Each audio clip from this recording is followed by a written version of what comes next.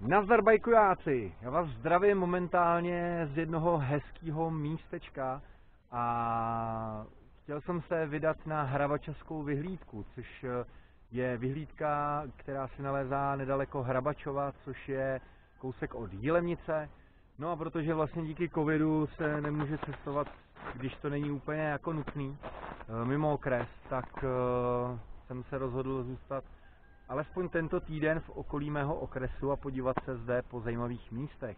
No a jedno z těchto míst je právě tahle asi vyhlídka, která se teda nalézá nedaleko Hrabačova. Eh, je tady výhled i na Dolní Štěpanice, pokud se nemýlím, a přímo nad Dolními Štěpanicemi, tady někde naproti v těch kopcích, tak by měla být zřícení na hradu právě Štěp, Dolní Štěpanovice, nebo, ště, jak, nebo Štěpanice. A takže tak, no a pojďte se mnou podívat, jak to vypadá, alespoň tady zatím na té vyhlídce a pokud to půjde, tak se dostanu k hradu a bude určitě záběry někde z hradu a nějaké fotografie. Takže pojďme na to.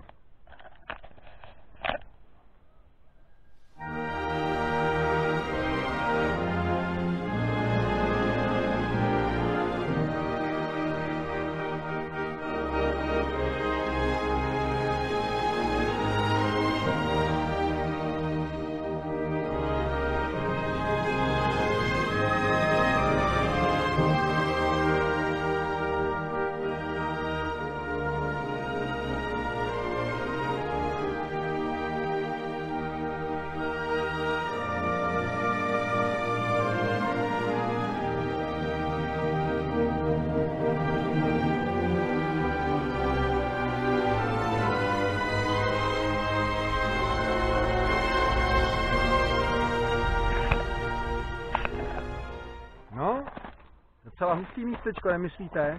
Já jsem se na tuhle vyhlídku dostal teda lesem, nebylo to nějak moc složité, dalo by se říct, že jsem šel tak nějak jakoby po turistických trasách, které mě sem dovedly. A na kole eh, v létě asi ano, teďka v zimě bych to nedoporučoval, je tady dost bahno, eh, jak můžete vidět, tak je tady ještě dost sněhu a to samý i v lese, vlastně po té lesní cestě. Takže tak nějak.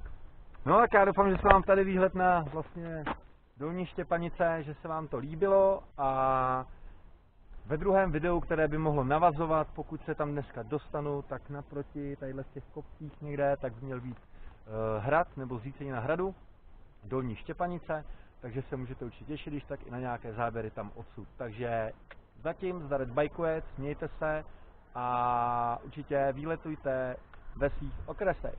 na vara.